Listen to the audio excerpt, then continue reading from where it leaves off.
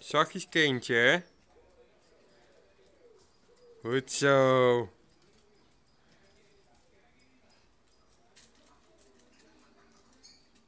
Joy, kom maar.